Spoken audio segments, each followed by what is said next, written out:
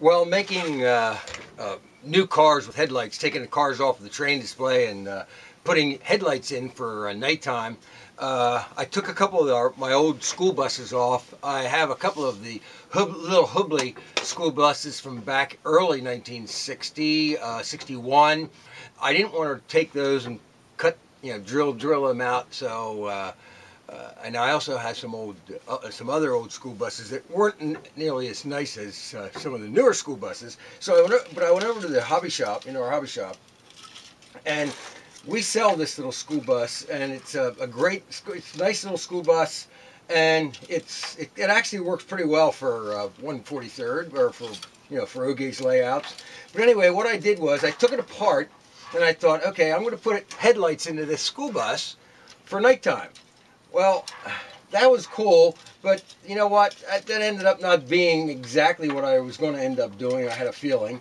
Uh, so while I had it apart, I uh, actually put a couple of kids in a couple of seats. I I took a woman, cut her legs off so she would fit underneath the steering wheel because around here we have a lot of women school bus drivers.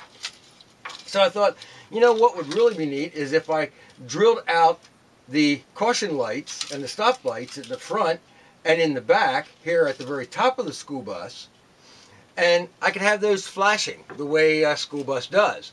So never never thinking that uh, I never really looked at how a school bus flasher works. I never paid that much attention to it. So I on the way to work I happened to notice that what happens is when a school bus is coming to the stop the yellow lights start to flash that are in the center in, in inside when the school bus stops and the door opens, the yellows change to red flashing lights.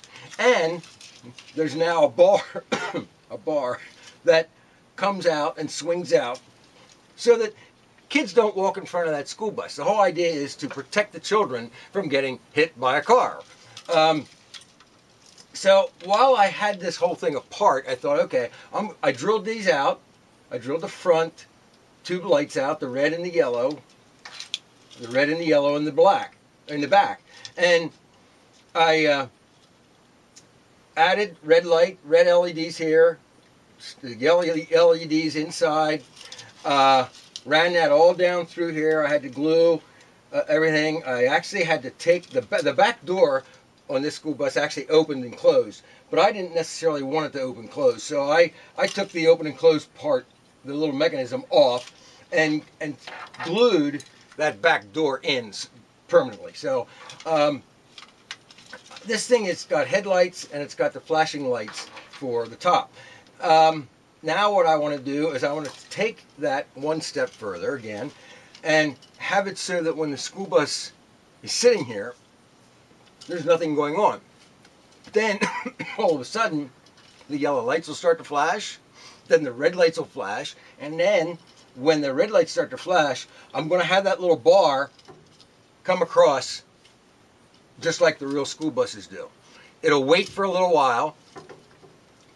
The bar is going to come back. When the bar gets back, the red lights will go out, and it'll be like the school bus is now full. The kids are able to go, and uh, you know we can keep on going.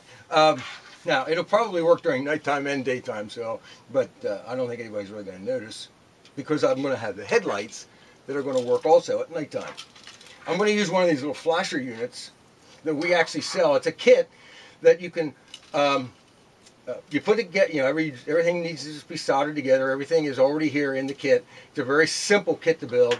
It has two potentiometers, one for each flash LED, so you can make it flash fast, flash slow, flash equally, flash equally slow, equally fast. That's it's a great little multi-purpose flasher unit.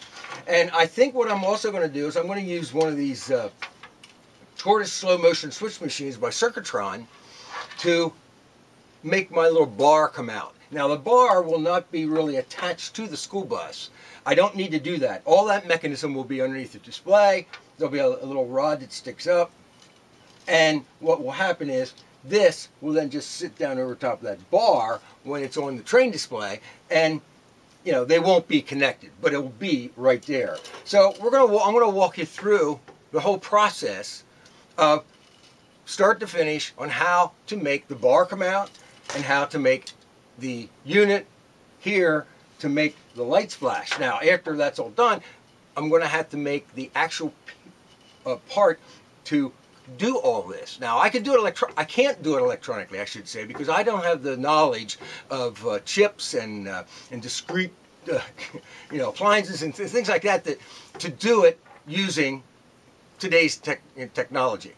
What I'm going to do is I'm going to do it the old school way. I'm going to use a drum. I'm going to use a little drum. Actually, it'll be two pieces of uh, of uh, plexiglass using a less than one RPM motor, and as that turns, it will flip the little re, uh, micro switches, just like my fire drum, just like my nighttime drum, uh, to make these things work.